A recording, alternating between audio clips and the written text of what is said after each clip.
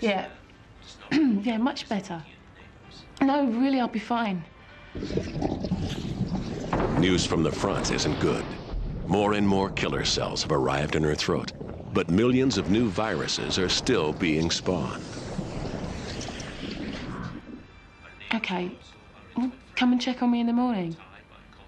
All right. See you then. Yeah. Bye.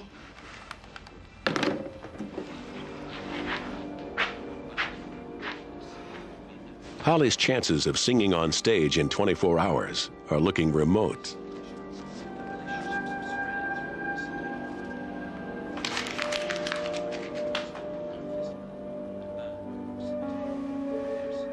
Her body is losing the war.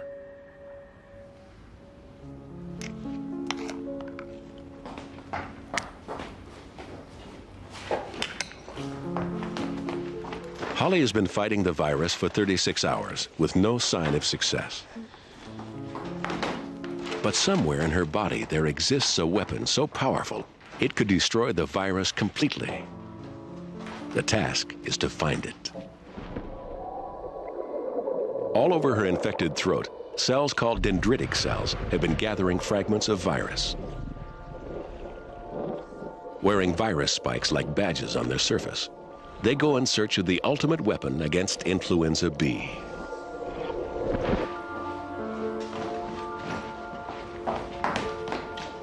You're not eating anything. So you clean the bathroom.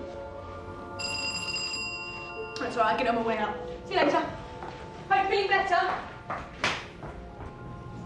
Bye. All of Holly's hopes are pinned on the dendritic cells.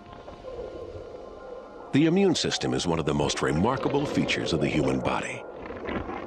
Here in Holly's lymph, a trillion cells known as T cells and B cells are floating, each one individually designed to kill a different foreign invader. Each one waiting for the call. And among these trillion cells, just one T cell and B cell are designed to deal with influenza B.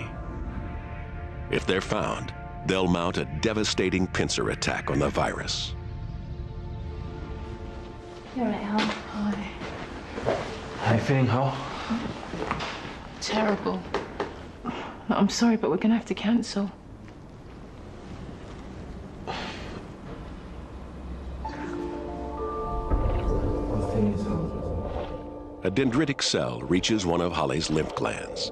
It offers up its virus spikes, seeking out the one cell which might recognize the virus.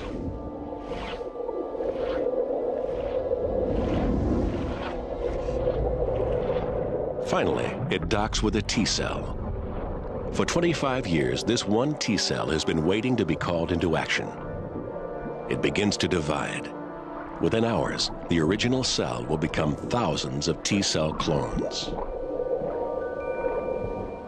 You don't look good. No? Sorry. What about a meal that the minute I'm not around, you let Alex kick me out? him going into the building. And he grabbed the door as he went in instead of holding it open for me. I mean, he grabbed the door and pulled it closed. I um don't trust anybody. So who's this Monica then? the sweetest looking little She's Alex's girlfriend. He wanted her in the band from the beginning. Can she sing? She knows the songs. She hasn't got the stinking flu. They'll be on stage now. Packed with dividing T cells, Holly's glands have begun to swell. But this time, her pain is a sign that the tide is turning. The T cells are launched into her bloodstream.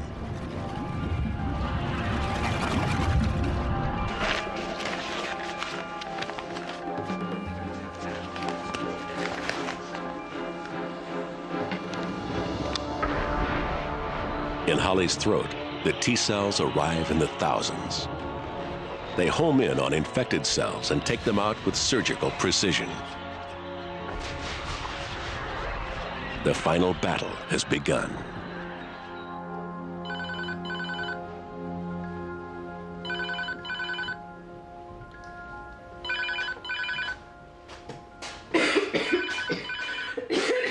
Holly's cough is further evidence that the T cells are winning. The cilia, which carry away cell debris, have themselves been damaged in the battle. Now, the only way Holly can clear this debris from her throat is by coughing. Phone right now, so just leave your name and your message and we'll get back to you as soon as possible. Bye.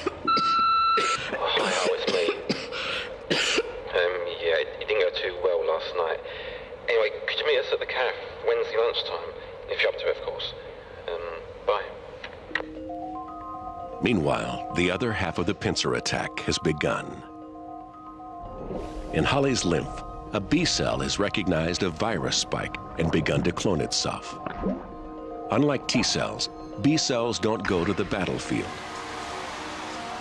Instead, they manufacture millions of minute proteins called antibodies. Like tiny heat-seeking missiles, the antibodies target newborn viruses, locking onto their spikes. Smothered in antibodies, the viruses are paralyzed. They can no longer infect Holly's cells. The invader has no place to hide. The viruses breeding inside cells are killed by T cells. Free-floating viruses are neutralized by antibodies. Between them, they will wipe the virus out.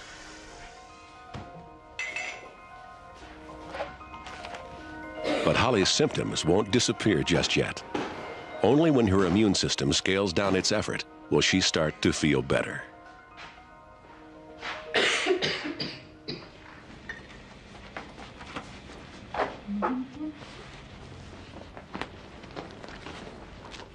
It has taken a week for Holly's body to beat the virus.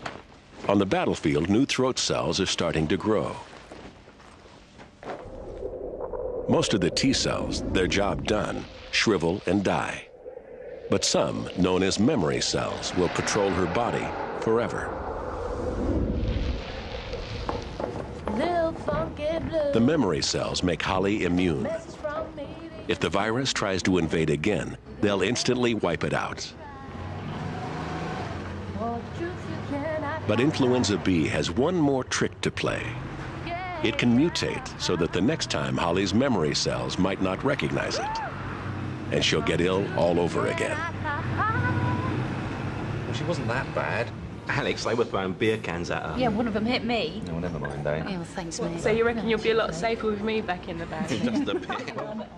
Though Holly no longer has flu, the last few viruses remain in her saliva.